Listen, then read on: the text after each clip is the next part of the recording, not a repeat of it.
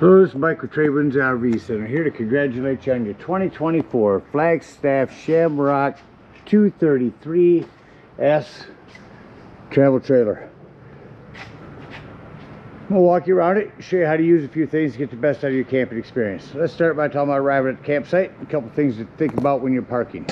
On your campsite, leave plenty of room for this awning.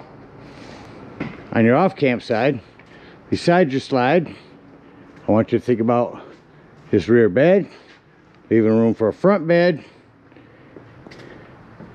where your power is above your tire, and where your water is back here in this rear corner. As well as another bed coming down here. So just take into consideration everything as you're parking. Once you park and you got a good spot, first thing we're going to do is unhook your hitch and level your unit. And it comes with a power tongue jack. Night docking light should you arrive at night. Simply raise or lower this until you're level. Once you are level, next thing we do is bring down our stabilizing jacks. Now should you lose power, you have this small hand crank here that will get down in this hole here onto a bolt that will get this up and down manually. Speaking of manually, got a manual hand jack right here, three quarter inch hand crank. Put that on your stabilizing jack, start running them down. As I do, I'm going to recommend stabilizing jack pads. Jack pads are going to protect the feet of your stabilizing jacks dirt and debris. Uh, a lot of campsites are blacktop. You're going to keep them from sinking into the blacktop. Grab a four pack of those out of our store with 10% off coupon. Run these down just until they're taut. Now remember, our unit's already level. All we're trying to do is stabilize it now. Once you've got that down where it starts to have some type of resistance on your hand crank and it feels like you're going to lift the unit, stop. Get all four of them down and we'll hook up our power and water. 30 amp cord plugs in here on the side. It goes in at like 10 o'clock, then turn it to noon, and put that black washer on. At the end of that 30 amp service, should you need to, plug into a 110, and your convenience pack will be a 30 to 15 amp reducer. Get your power hooked up. Let's hook up your water. This point, none of your beds would normally be down. Leaving a couple down for time savers. Here's our docking station. At campsites, we're going to hook up to city water connection. First and foremost, a water pressure regulator. This water pressure regulator is going to reduce the water pressure to 40 to 50 psi, protecting lines in unit. You don't know what the water pressure is at different campsites, so always use these. Hook that up. Hook up your hose. Don't turn your hose on yet. Find your hot water heater.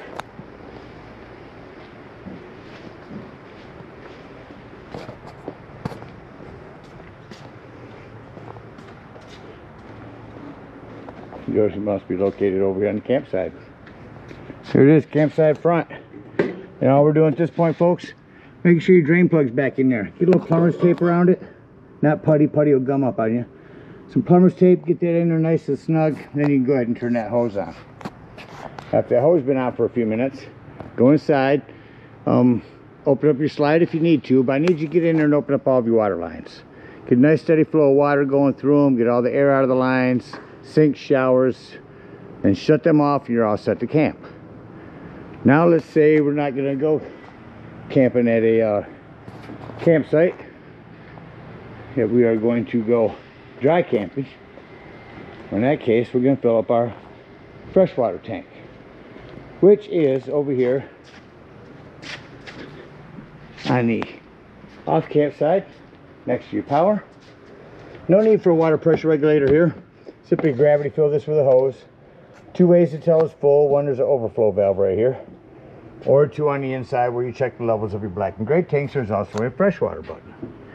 Once it's full, put that cap back on there and then whenever you want to utilize that water, you'll turn on your water pump. Don't turn on your water pump and hooked up to the city water. That's already pressurized. Alright, we're all set to camp with power and water. Let me go ahead and walk you around the rest of the unit, starting here on our off camp side front. Stabilizing jacks, let's talk slides. On your slide, you've got a rubber seal here. You want that to stay flexible and pliable over the years. They've got a spray that you can put on these. That, that's really going to add to the life of your trailer, keeping those nice and flexible. Nice big storage through here. Freshwater drain, which would be more accessible when our slide's closed.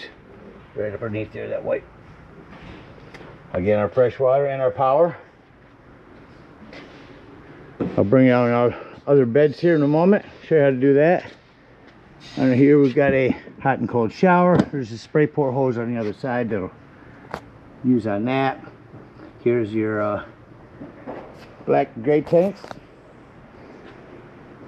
Spare tire has a cover. Water access to your air pump and filter. Our docking station. City water. Tank flush. We'll talk about that when leaving the campsite and closing our black tanks. Antifreeze. That's where you winterize that. Cable and satellite. Got a big awning over here. Your griddle indoors has legs with snap on here uh, with your quick connect LP there. There's also a little table that'll sit next to that. Main low point drains are here. Snap a TV on out here. Here's your cable and 110 for running that. A couple outdoor speakers. A uh, hood uh, uh, exhaust for your hood vent. Over here you've got your exhaust for your flue for your furnace. A few things on that. One, make sure it's never blocked. And two, if you are running your furnace, steer clear of that. It does get hot. Actually some bug guards put over those as well. Good investment. There's a spray port hose. The paperwork in there. Hot water heater again. Uh, if your hot water heater doesn't seem to be working, come out here to see if either one of these bubbles are bubbled up. If they are, simply press them back in. They are a reset. Up front, your propane does have a cover. There's a regulator on it. Lefty loosey to open, point toward the tank you wish to be using. That turns red, you're out of gas. Green now. Then switch over. Uh, one more docking light up front here. And lastly, your battery disconnect. This will disconnect all the battery power to the unit. That'll come important here shortly when I talk about your carbon monoxide propane detector. That covers everything out here. Let's go ahead and show you how to bring one of these beds down. So make sure you keep these locked for travel. Unsnap one on each side. That will lift up and simply just bring it down. I do it one-handed all the time. Nothing to fold out. There's a polypropylene that will uh, mold and mildew resistant. And you come up in here. I've actually started to move the mattress out of the way just to simplify this. You've got what they call a, a shepherd's hook. Curved on one end, straight on the other. Have that curve up. We're going down in between this black area here. So again, another angle, putting that right in there. Just push that out. Again, down here, have our curve end up. Just lock it in anywhere up here. The tighter, the better. And fold your mattress down. We're all set. So that's how all those fold down. Alright, so going over a lot of the inside of your unit, first thing I want to start with is your fire extinguisher. Make sure that you and everyone that's camping with you knows the fire extinguisher is located by the entry doorway in case of emergency. To my left up top is going to be my control panel. There's where I can see the level of my fresh water when filling that.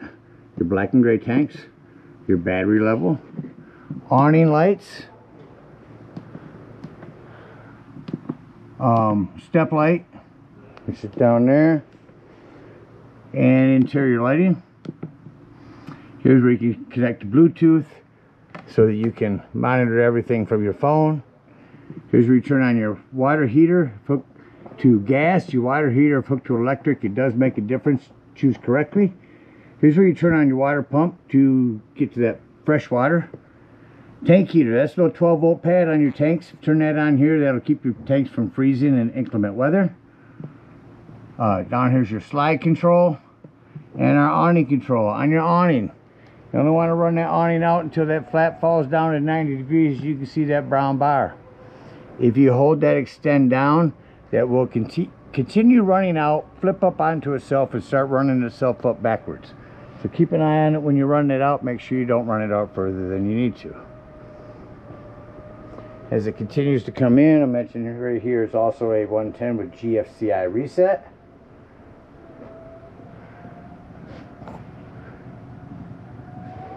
As that comes in, I'll shut off my awning light. I mentioned these slam locks work best when gently slammed. Coming up into the kitchen, we've got microwave, self-explanatory there, light and fan above your cooktop here. This glass top here makes an excellent backsplash.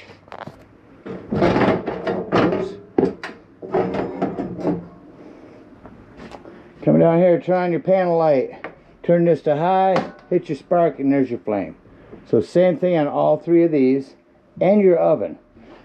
Now on your oven, turn this to the flame, hit your spark, that'll light your pilot light. With this light off, you'll usually be able to see the reflection of the pilot light. If not, look up underneath there and see if it lit. That panel light rocked down into an oven light. One touch lighting here. Your sink. Um, maintain your plumbing. Keep an eye on your plumbing over the years. There's your return for your heat duct which should bring me to a thermostat down here in the hallway. Before that so this is your solar controller. I'll send you a separate video from go power. You just need to keep that on flooded battery. That's your only concern with that. This is just to keep your solar panels from overcharging your batteries. Down here crank the heat up all right, you hear that running? I'm gonna shut that heat off and it's actually gonna take a few minutes before that fan will shut off. Where when I do the AC, you hear that. So these also have a quick dump too. It'll blast the air down cold. And then when you close it, it goes through the vent system. But what I want to show you is when I shut the AC off, that shuts off immediately. It will take a few minutes for that fan to cycle through before it shuts off. Down here in the hallway is your 12 volt carbon monoxide propane detector. The reason I mention that's 12 volt, that's always running off your battery. So if you are out dry camping, you're going to be gone for the day, you don't want this to run your battery down, use your battery disconnect up front. Your rear bed, your side bed, uh, you are prepped for TV, you can put here on this backer wall here, cable and 110 there. There's your griddle for outdoors. Your fridge here, I do want to tell you to be careful with these because this new kind can open up from either side. Just make sure that when you close it, you close it all the way. Otherwise, your hinge will come off and this will fall off. We don't want that to happen. Uh, down below here is going to be your breaker box and fuses. You got a ton of 15s and a couple of 40s. I highly recommend having some of those with you when you go camping. In our bathroom real quick couple flushes of your toilet when you first arrive. Put some water down into your black tank. Your black tank will thank you later. Lighting here. Uh, we've got a hand touch, hand crank open exhaust vent in here as well. No plumbing to maintain. There's your access panel, square-headed screws for that. And then this is a shower door that you want to keep snapped closed for travel. when you go camping.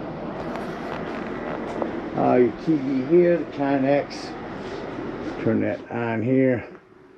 The heat return just shut off. As to show you how quick, how long those take. Uh, smart TV from Connex. Nice AM, FM, Bluetooth, everything will run through here. There is a manual in your bag. It should be in a drawer around here. Make sure we find that. Oh, you got a couple of, so you got three fans, and these are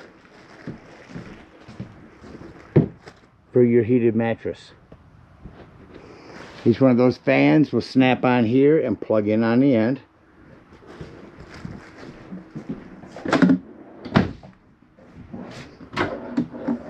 I will find that paperwork for you. Um, here's your inverter. That will invert your power. If you are out dry camping and just need a burst of power, just read up on inverters before you use it. Smoke alarm here in the ceiling. This is your backup camera. This will also jackknife down to a bed. Actually, I think it rolls from the front. Let me show you how that works here. Yeah, this kind of rolls over. Just flip that down. Make sure that you have this down before bringing your whole bed down. We got another sleeping quarters there. Again, make sure you bring that up before closing here. You have a hand crank open exhaust vent here. Five, four different speeds. About covers everything in here. It's like, like we're leaving the campsite and close the unit up.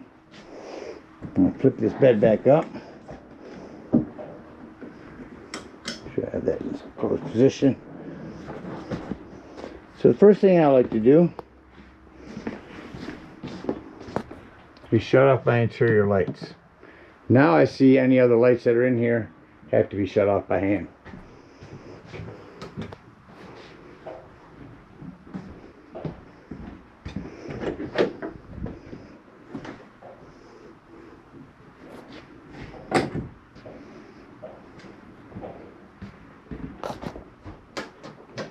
Now I can come back to my control panel and turn on my interior lights. Because my lights back on, I'm gonna start bringing some beds in. Flip that up. Push forward on that. I like to keep these bars in this corner of fold of the mattress. Now from outside, I'll go push that up. Same thing down here. Push that in. Put this into the fold of the mattress.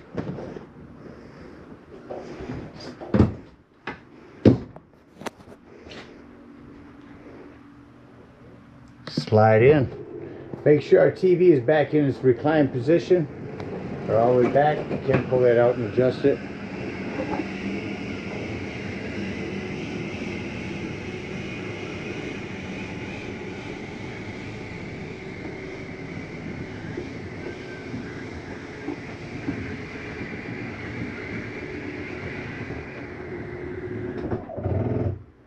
Want you hear that noise. That's the slide mechanism telling you that it's in all the way.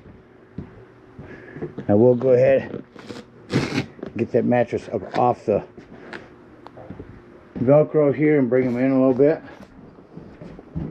That's going to allow you to lift up your outdoors a little easier. All right shut off our interior lights and exit the unit. Biggest thing on these steps you want to make sure this exterior door is all the way open. Otherwise this will catch on it when it comes up your feet are adjustable simply press in on that move the leg to where you want this lock will help keep that from slamming into your door going down the road. Before you leave the dump station, lock and deadbolt, lift and turn this handle. That's how you want that handle for travel. All right, if we are out dry camping,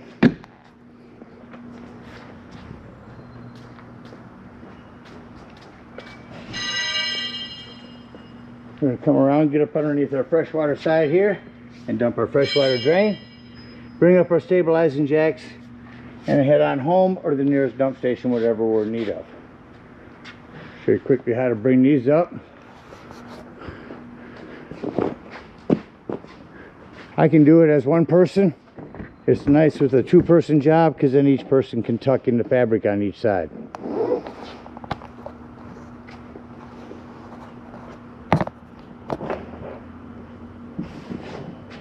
Push on each side, tucking it in. Make sure that your top, make sure you lift this all the way up before closing this. Oops. Once you've got it under there, then you can close that down onto it. Make sure you lock these for travel. Repeat the process back here. All right, if we're at a campsite, we'll unhook our power, our water, our cable, bring up our stabilizing jacks, and head on up to the dump station. At the dump station, park accordingly. Your dump's going to be on your off-camp side or your driver's side of your tow vehicle, in between your tires in the rear of the unit. 10-foot hose comes your convenience pack. Hook that up. And first one I'm going to pull is the one on the right. That is going to be your black handle. That's going to be your sewer outlet. When it sounds like that's no longer draining, go inside, check the level, level of your black tank. If it shows empty or close to it, come back out here. Leave that black handle open. Grab the hose at the dump station and hook it up to this tank flush. Turn that on, let that run for a good five minutes. It's going to wash all that nastiness out of your black tank. When that's done, close that up.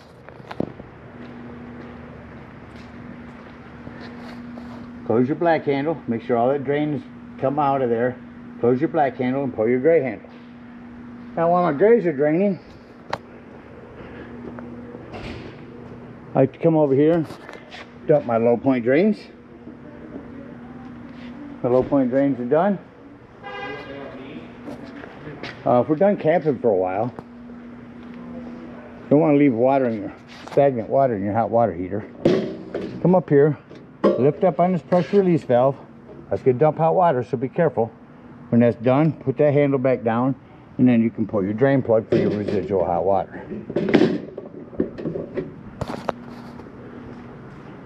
When your gray is done,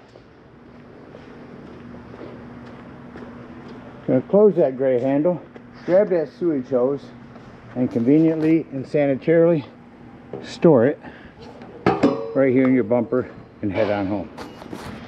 Again, thank you guys so much for your purchase. Hope you enjoy the Shamrock for many years to come. Happy camping.